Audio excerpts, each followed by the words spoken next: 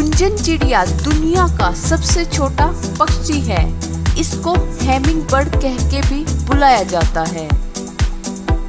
पूरी दुनिया में गुंजन चिड़िया की 325 से भी ज़्यादा प्रजातियाँ पाई जाती हैं। गुंजन चिड़िया के पैर बहुत ही कमज़ोर होते हैं। ये ज़्यादा चल फिर नहीं सकती। गुंजन चिड़िया मधुमक्खी से थोड़ी सी बड़ी होती है। गुंजन चिड़िया के अंडे जेली बीन से भी छोटे होते हैं। गुंजन चिड़िया को खुशबू या बदबू महसूस नहीं होती, क्योंकि इनमें सेंसर स्मेल नहीं होता। गुंजन चिड़िया पेड़ों का रस, फूलों का रस और छोटे मोटे कीड़े खाती है।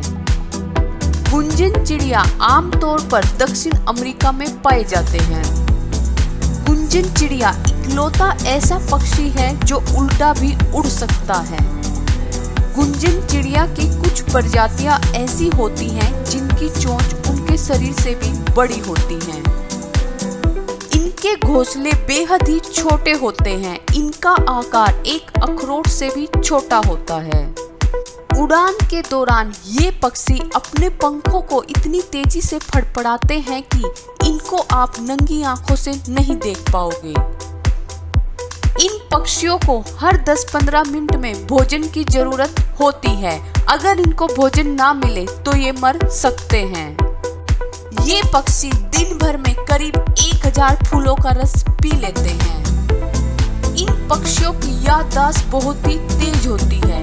ये जिस फूलों पर एक बार चली जाती है, उसे कभी नहीं भूलती।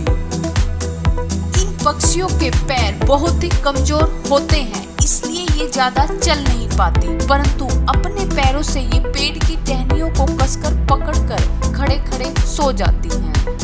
कुछ गुंजन पक्षी की प्रजातियाँ पेड़ पर उल्टा लटक कर भी सोती हैं।